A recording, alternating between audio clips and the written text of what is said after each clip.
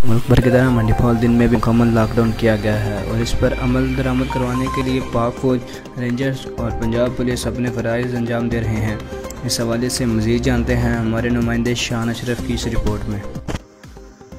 मंडी बहाउद्दीन में भी लॉकडाउन के पेश नज़र ज़िला भर में सिक्योरिटी के सख्त इंतज़ाम किए गए हैं और ज़िला के दाखिली व खारजी रास्तों पर पाक फौज और पुलिस के चाको चौबंद दस्ते तैनात किए गए हैं, जबकि शहर के अहम मकाम और चौकों में लोगों की गैर ज़रूरी आमदोरफ्त को रोकने के लिए नाकाबंदी की गई। सब्जियों और फ्रूट मंडी के अलावा मेडिकल स्टोर खुले हैं, जबकि दूसरी तरफ़ ज़िले इंतज़ामिया की रिपोर्ट के मुताबिक मंडी बहाउद्दीन में चार मरीजों में कोरोना वायरस की तस्दीक की गई है और वो जेर इलाज हैं। इन इलाकों से इन मरीज़ों की निशानदेही हुई है।